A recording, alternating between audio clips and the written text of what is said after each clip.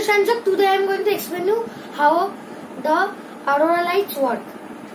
So this uh, drawing of the aurora lights, uh, basically know the aurora lights of how the solar wind. So what is the solar wind? Basically, say this is the sun. Very thin this is.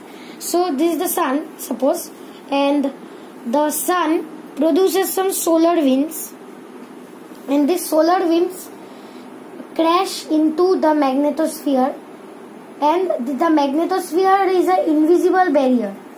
So we end up with a magnetic shield. So this is north and this south. Sometimes this reverses but that's a chapter for under next video.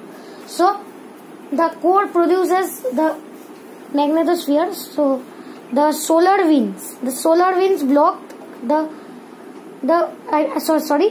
The magnetosphere blocked the solar winds from going in the earth and damaging the earth. So what actually happens?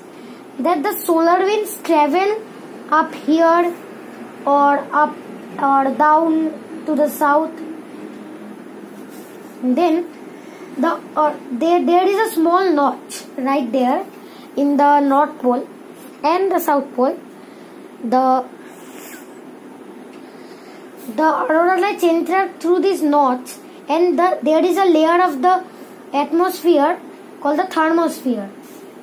So suppose this is the uh, thermosphere. Thermosphere is also responsible for sending back radio waves to Earth. So the thermosphere blocks the solar winds from going in this and the solar winds appear as if there are beautiful auroras in the north and south poles. The north, the aurora of the North Pole is called the aurora borealis. So this was the explanation of how auroras work. So how do you like that video? Goodbye and subscribe to Shanchok.